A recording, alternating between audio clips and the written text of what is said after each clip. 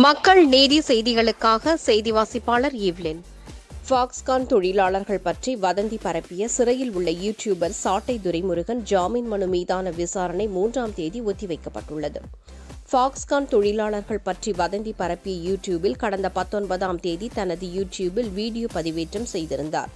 அதில் ஃபாக்ஸ்கான் தொழிலாளர்கள் கவலைக்கிடமாக இருப்பதாகவும் சிலர் இறந்துவிட்டதாகவும் அவர் வதந்தி பரப்பி வீடியோ வெளியிட்டிருந்ததால் அவர் மீது பூந்தமல்லி தாசில்தார் கொடுத்த புகாரின் அடிப்படையில் திருவள்ளூர் காவல்துறையினர் திருச்சியில் அவரை கடந்த இருபதாம் தேதி கைது செய்து பொது அமைதிக்கு குந்தகம் விளைவிக்கும் விதமாகவும் சமூக வலைதளங்களில் செய்தி பரப்புவது அரசுக்கு அவப்பெயரை ஏற்படுத்தி உள்ளிட்ட பிரிவுகளின் கீழ் அவர் மீது வழக்கு பதிவு செய்து திருவள்ளூர் கிளை சிறையில் அடைத்தனர். இந்நிலையில் சாட்டை துரைமுருகன் ஜாமீன் கோரி திருவள்ளூர் ஒருங்கிணைந்த நீதிமன்றத்தில் மனு தாக்கல் செய்திருந்தார்.